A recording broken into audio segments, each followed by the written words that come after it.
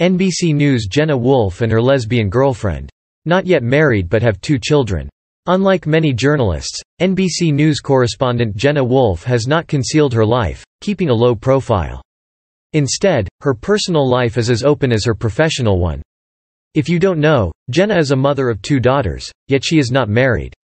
She had, in fact, declared herself as a lesbian on March 27, 2013.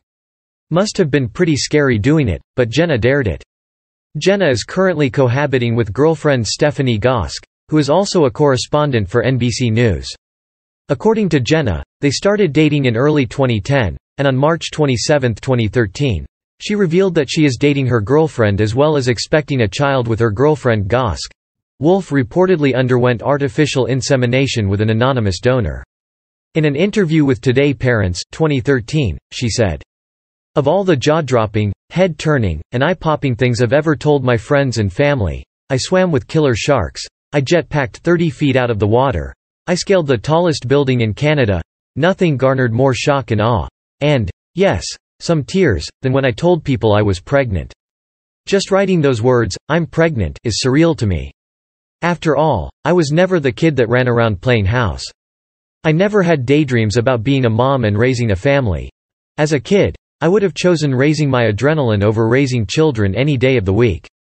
On August 21, 2013, Jenna and girlfriend Stephanie welcomed a baby girl and named her Harper Estelle Wohlfeld Gosk. According to a source, they previously went through artificial insemination with an anonymous donor. We do not know if that is true or not, but whatever it is, Jenna is very happy with her girlfriend Stephanie and their two daughters.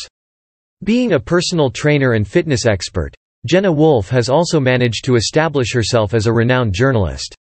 Currently working as an NBC News correspondent, Jenna is an acclaimed and self-inspired personality.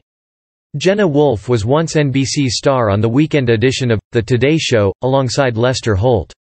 The two meshed quite well and seemed like good partners and friends.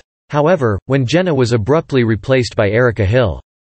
The change was not welcomed that well, and many questioned NBC's decision and wondered why Jenna was demoted.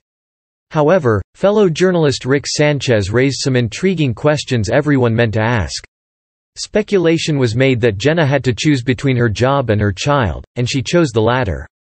Of course, Rick had no backing for this assumption, and when it was reported that the truth was far different, his ideas were pushed back even